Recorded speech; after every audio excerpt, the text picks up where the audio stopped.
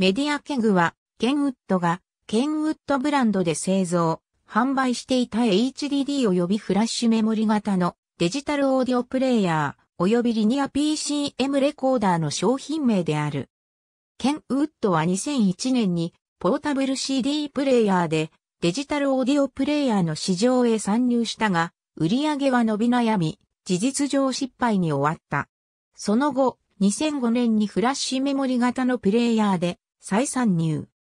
この頃からメディアケグというブランド名がつくようになった。HD27 をはじめとした HDD 型プレイヤーは音楽再生機能に特化しており、デジタルアンプを搭載した音質重視モデルとして知られている。なお、HD27 と HD30 が9は東芝のギガビット F がベースとなっている。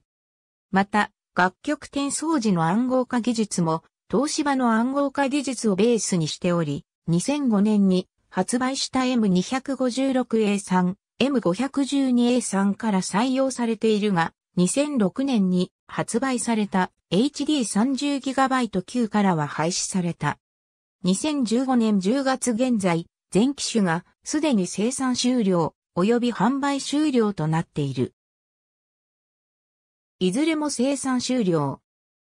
MGF508 プレスリリース音質で勝負する HDD プレイヤー、ケンウッド HD20 が7この冬のトレンド？高音質プレイヤーを試すケンウッド HD30 が9、ビクター、ソ HD500 ケンウッドの新 HDD プレイヤー HD30GB 級を使ってみた。株式会社ケンウッド HD20 が7プレスリリース HD30 が9プレスリリース HD30GB 級、世界最小 HDD、プレイヤー、ケンウッド、HD10GB7 を試す。ポータブルデジタル HDD、オーディオプレイヤーメディアケグ、HD10GB7 をご愛用のお客様へ、ハットプレスリリース HD60GD9、ポケットに入る単品コンポケンウッド、HD60GD9 ケンウッド、高音質のメモリプレイヤー、メディアケグ。ありがとうございます。